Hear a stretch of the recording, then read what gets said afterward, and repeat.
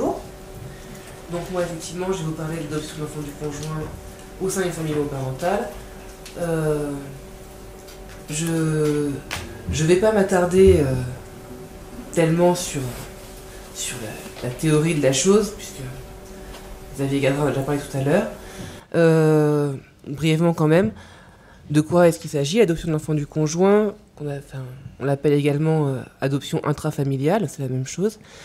C'est l'adoption donc plénière ou simple par le conjoint du parent légal d'un enfant qui soit ne disposait jusqu'à que d'une seule filiation établie dans le cas d'une adoption plénière, c'est indispensable, ou bien dont l'autre parent consent à renoncer à euh, l'autorité parentale au bénéfice donc de l'adoptant. Euh, je vais vous parler uniquement ici de euh, l'adoption plénière, puisque c'est ce qui représente l'immense majorité des demandes d'adoption intrafamiliale au sein des familles homoparentales.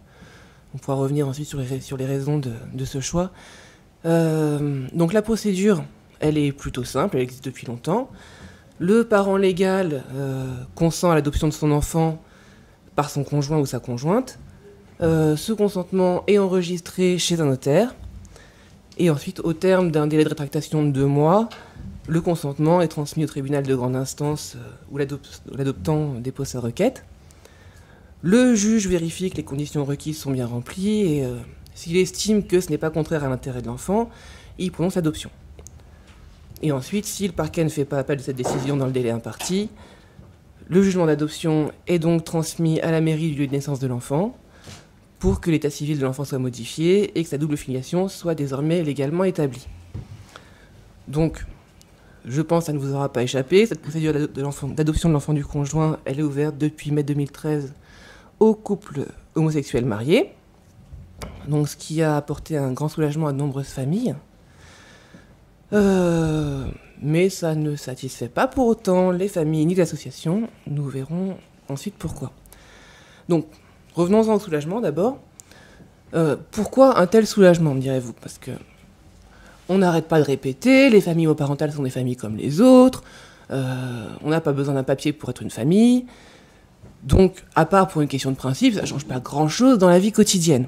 Eh ben si ça, change des choses. Je vais vous expliquer ce que ça veut être, ce que ça veut dire, pardon, d'être un parent homo non statutaire, donc un parent invisible. Euh, bon, avant tout, c'est être un parent, ça c'est sûr, bien sûr. C'est imaginer cet enfant euh, longtemps avant sa conception. C'est le rêver, c'est s'accrocher à ce rêve au fil des cycles, plus ou moins longtemps. C'est éventuellement pleurer d'émotion devant un test de grossesse positif c'est scruter un ventre qui s'arrondit, c'est euh, attendre avec impatience un petit coup de pied dans la main, c'est préparer son arrivée au monde, papier peint, tout ça.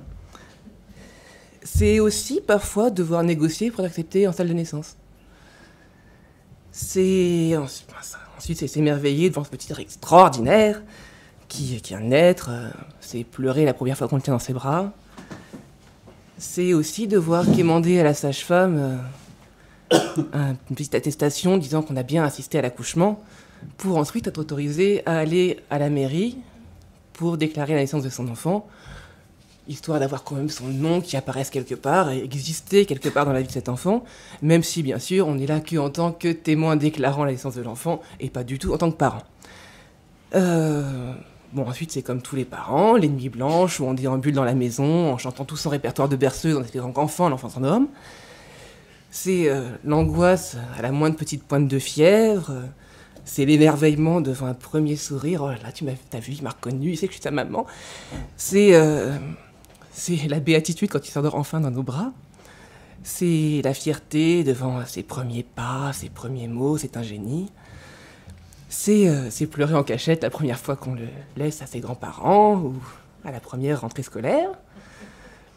C'est aussi avoir besoin de l'autorisation écrite de son conjoint pour pouvoir aller chercher son enfant à l'école. C'est hésiter à emmener son enfant aux urgences suite à une chute, de craindre qu'en l'absence du parent légal, on ne nous laisse pas repartir avec notre enfant. C'est parfois devoir euh, se voir refuser par les équipes médicales de pouvoir rester auprès de son enfant qui est blessé ou malade, alors que notre enfant s'accroche à nous en pleurant, parce que seuls les parents sont autorisés. Donc c'est aussi voir son enfant rentrer de l'école tout triste parce que la maîtresse n'a pas voulu lui donner deux enveloppes pour l'élection des représentants parents d'élèves. C'est euh, parce rentrer tout triste parce que le maître lui refuse d'écrire le nom de ses deux parents sur son cahier de liaison. C'est aussi quand des enfants dans la cour lui disent que non, c'est pas vrai, il n'a pas de papa ou il n'a pas de maman parce que c'est pas possible et qu'il n'y a aucun adulte à l'école qui vraiment contredise le, les faits parce que effectivement, sur le papier, il n'a pas de parents, il n'y a, pas de maman, il n'a pas de papa. Sur le papier, il n'y a qu'un seul parent, c'est ça qui est marqué dans la base élève. C'est aussi l'angoisse de savoir que si notre couple se brise, ça, arrive effectivement aussi, ou euh, si notre compagne, notre compagne, notre compagnon décède, on risque de se voir séparer de son enfant, on risque de voir euh, une fratrie éclater, euh, qu'on ne sera autorisé à garder notre place de parent que selon le bon vouloir de notre ex-conjoint ou de sa famille dans le cas d'un décès. C'est savoir aussi que si soi-même on décède, notre enfant ne sera pas notre héritier, quels que soient les liens qu'on peut avoir avec notre famille. Voilà et pas plus qu'il n'héritera de ses grands-parents euh, à leur mort, puisque contrairement à ses cousins et cousines, il ne fait pas légalement partie de la famille. Donc c'est tout ça qui change quand on peut enfin être légalement reconnu comme parent de son enfant. Bien sûr, l'amour qui nous lie, ça ne change pas, il ne devient pas notre enfant, il l'a toujours été. Il est né d'un projet parental commun, il en a toujours été là euh, depuis l'instant de sa naissance et bien avant, pour l'aimer, pour le soutenir, le guider, lui transmettre nos valeurs pour faire de lui un enfant, puis un adolescent, puis enfin un adulte heureux et équilibré. Donc tout ça, évidemment, ce n'est pas lié à un bout de papier, ça ne change pas. Mais en devenant légalement son parent, c'est donc toute cette angoisse qui se dissipe.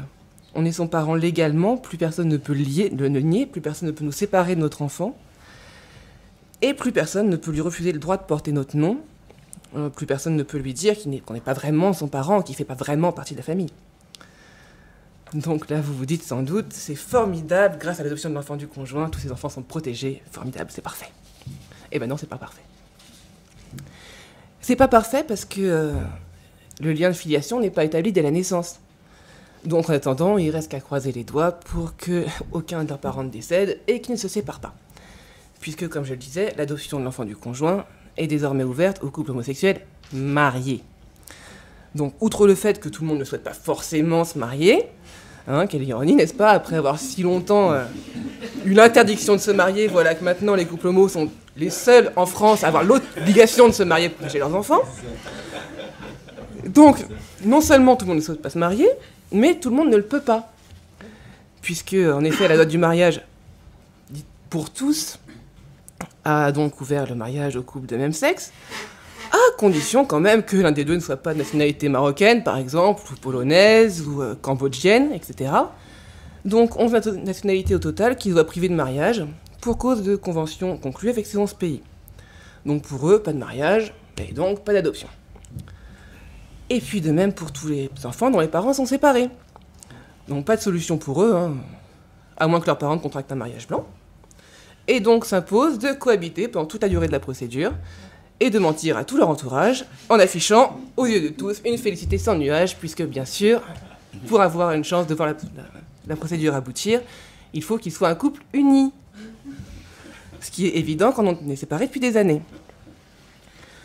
Et ce qui est extrêmement euh, en faveur de l'intérêt de l'enfant de voir ses parents se réinstaller ensemble alors qu'ils ne peuvent pas se supporter et éventuellement dire à l'enfant que oui, ils sont de, bons ensemble, parce qu'il ne faudrait quand même pas que l'enfant ait la, bêtise de dire euh, pendant une éventuelle enquête euh, que bah non, ses parents ne se supportent pas. Euh, parce que bon, bien sûr, si seuls les documents d'état civil et le consentement à l'adoption sont absolument indispensables pour la procédure d'adoption d'enfant du conjoint, le juge reste en droit d'utiliser tous les moyens à sa disposition pour se faire une opinion sur l'intérêt de l'enfant, qui est quand même une notion relativement subjective. Euh, certains demandent ainsi des enquêtes de police ou des enquêtes sociales. C'est ainsi que des parents ont la surprise de devoir convoquer au commissariat, où on les interroge séparément sur leur famille, avec parfois des questions quand même très indiscrètes concernant la conception de l'enfant. Euh, bon, il va de soi que ce n'est pas le cas pour les couples hétéros qui font une demande d'adoption de l'enfant du conjoint. Hein. Personne ne veut savoir s'il a été conçu sous la couette ou sur la table de la cuisine. Euh, on a aussi l'arrivée inopinée des gendarmes à la maison qui viennent effectuer une petite visite du domicile. Toute la famille les regarde ébahis, visiter la chambre des enfants, observer les jouets, scruter le contenu du frigo. Ah oui, c'est important de voir s'il y a des yaourts. Euh, c'est vrai. le pire, c'est que c'est vrai. Et parfois, on demande que les enfants soient présents à l'audience, ce qui bien sûr n'est pas du tout, du tout traumatisant pour un enfant. Euh, certains demandent des photos de famille, des témoignages de l'entourage, donc la famille, les amis, euh, le pédiatre, l'instituteur, etc. Attestant donc que le parent non statutaire se comporte bien comme un parent. Donc ça semble presque anodin, hein, c'est presque mignon. Euh, non, pour les familles concernées, c'est pas du tout mignon. C'est carrément humiliant de devoir demander à ses proches leur caution pour avoir le droit d'être reconnu comme un parent de son propre enfant. C'est encore plus humiliant de devoir le demander au médecin qui voit notre enfant au maximum 5 minutes par mois, comme s'il était mieux placé que nous, parents, pour décider de notre engagement parental. C'est humiliant de devoir exhiber ses photos de famille devant des inconnus pour euh, prouver qu'on est un bon parent.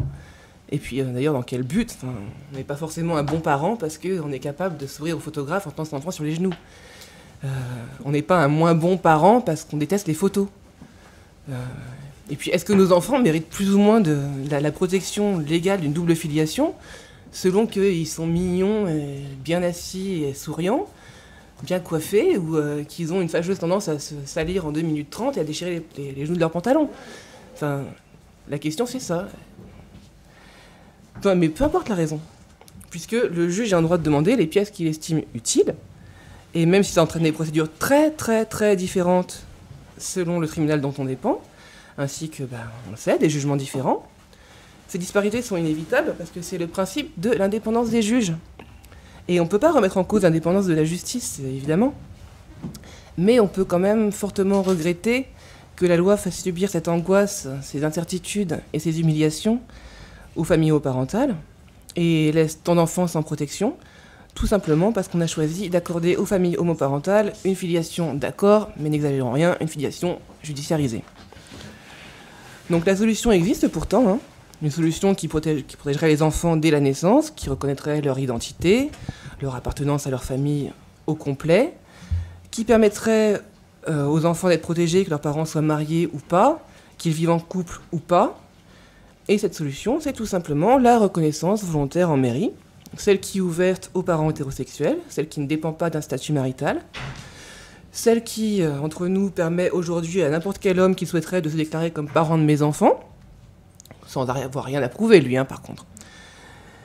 Et cette solution, ben voilà, c'est l'égalité, tout simplement. L'égalité, ni plus ni moins. Merci.